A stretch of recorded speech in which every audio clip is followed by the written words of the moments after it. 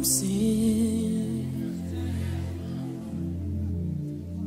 My soul is awakened. I live free from what.